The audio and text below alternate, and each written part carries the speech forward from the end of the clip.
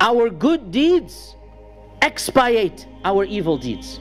Our good deeds dissolve, dissipate our evil deeds. Once a man came to the Prophet ﷺ and he was in a very penitent state, very sorry state. And he said, Ya Rasulullah, I have committed a major sin. I have committed, uh, done an evil deed. I have seduced a woman and I kissed her. Kissed a woman. He didn't go beyond this. He kissed her. Now in the Sharia, the kissing does not have the hadd penalty. There's nothing the Prophet can do in the terms of the court of law. This is not something that's going to be punished for in the court of law. So the Prophet said nothing to him. Then the time for salah came and they prayed. And the man went away thinking that there was nothing he can do to get his sin forgiven. So the man called the Prophet back.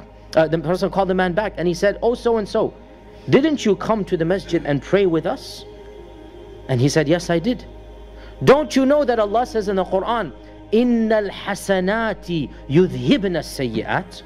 Doing good deeds forgives evil deeds, causes evil deeds to go away. In other words, you have repented, you are clearly guilty, you have come in a sorry state, you are making istighfar to Allah, now you have walked to the masjid, you have prayed with us. This good deed will forgive your evil deed.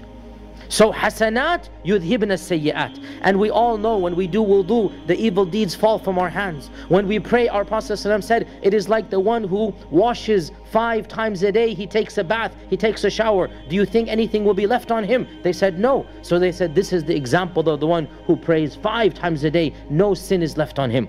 Ramadan to one Ramadan, and Ramadan is coming in a few weeks. Ramadan to one Ramadan forgives everything in between.